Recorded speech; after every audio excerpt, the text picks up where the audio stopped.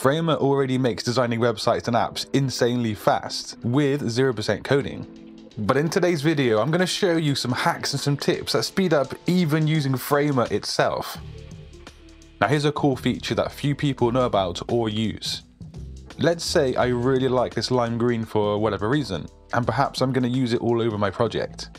Now one quick, intuitive and easy way to use it across my project is to come into the styles panel and add a new star right here. And then we just need to give it a relevant name, so let's run with something like electric lime because why not? Now, Framer will save this exact hex color code, and it's going to keep it in this neat little ID for us to use whenever and wherever we want. And just to demonstrate that, let's create a new frame with the frame tool, come into the color section, and there we have it. Our saved color is right there, ready to apply. Now this makes life so easy and it just simply speeds things up for us in Framer. And next, we're going to look at one of Framer's best hidden secrets, which isn't actually a secret, it's just that most people don't know it's there or they simply just don't make use of it. If we zoom in on this section here, we can see a purple icon. We also see one over here too. Now these icons represent that these sections are in fact something called components. And why are they important you might be asking? Well let's control click one of them and come into the edit window. Now this is my CTA button in the component edit. And just for demonstration purposes, let's resize this icon so it's a tad larger. Now, when I come back to the home page, you'll notice that not only did the CTA on the left change, but every other CTA that is the same component did as well. It's kind of like the global edit feature found in Adobe Illustrator. We can come back into the edit window and hit Command or Control Z to undo that change. But here's how to actually make a component. All you need to do is to highlight your object or your group, right or control click, and then create a component. Slap in a relevant name and away you go. And as mentioned, all you need to do is to make any change in the edit panel and any other component that is the same would also change across your project. Pretty neat. Now to speed things up even more, some shortcuts will be a good solution. One shortcut I always use is I on the keyboard which will instantly bring up the insert function. And you will need this on a regular basis when working with Framer. And another one is F on your keyboard, which will create a new frame, which is the basis for so much work within this program. But you can find some of the most useful shortcuts up here under the Layouts tab.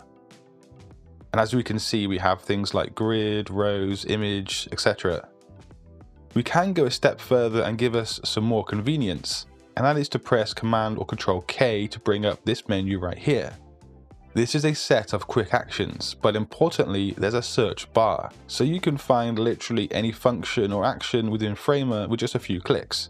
And that is really, really useful, especially for those who are relatively new to the software.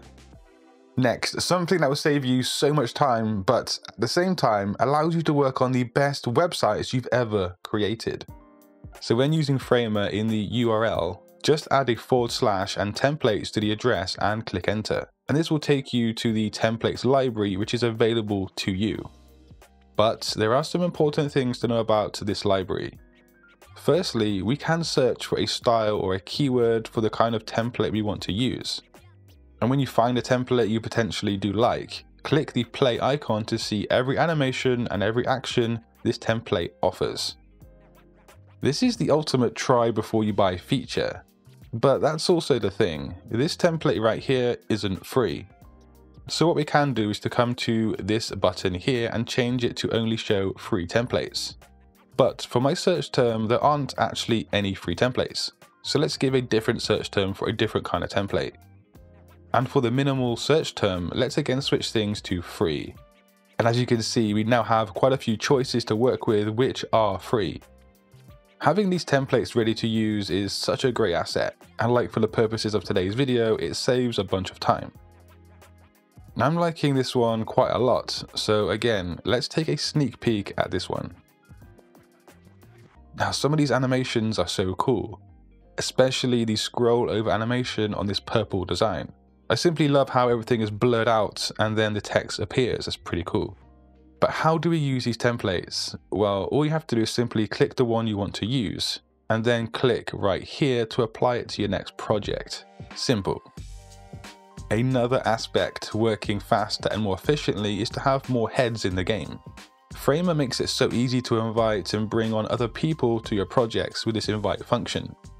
And like I said, Framer already makes things easy and quick when it comes to stunning website design. But with some of these tips, you can speed things up even more and take things to that next level. And you can try Framer via the link in the description box below. And also, you can use my code Satori for a sweet discount. And thanks again to Framer for making website design not only easy and fast, but also fun at the same time. And of course, for sponsoring today's video. But if you'd like to learn some more graphic design skills and tips, just click that video on screen. And until next time, guys, design your future today. Peace.